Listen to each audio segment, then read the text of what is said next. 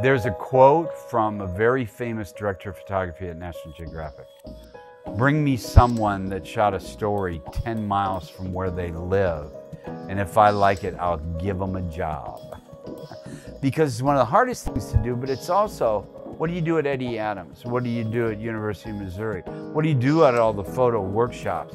You do stories around that general area um, in a short period of time. And it's a way that you can spend time with your subject.